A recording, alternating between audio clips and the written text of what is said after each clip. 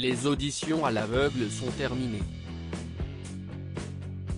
Samedi 20 mars 2021, les derniers candidats de The Voice ont en effet foulé la scène du studio pour tenter leur chance face à Florent Pagny, Amel Bent, Vianney et Marc Lavoine.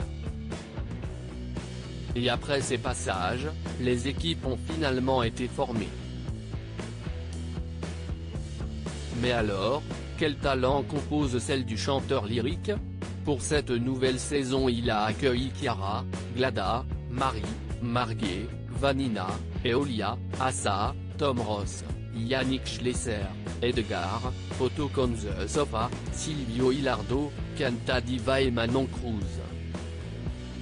Contrairement à sa compagne d'aventure Amel Bend, Florent Pagny a totalement respecté la règle des auditions à l'aveugle qui autorisait chaque coach à accueillir 14 talents dans son équipe. Après coup de cœur, Amel Bent en a effet accueilli 16.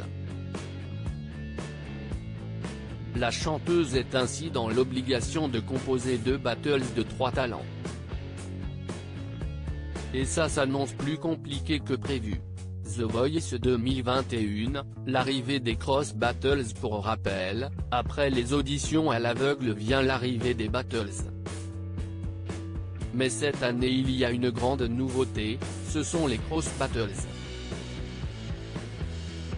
Pour la première fois dans l'histoire The Voice, les coachs vont s'affronter comme les talents.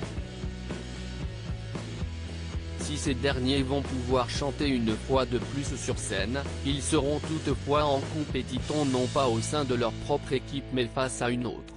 Pour démarrer c'est Nico Aliagas qui désignera un coach? Celui-ci aura donc la lourde de tâche de choisir un de ses talents pour affronter le candidat d'une autre équipe lui-même choisi par le coach que le premier aura désigné. Au final, chaque coach devra continuer avec 8 talents.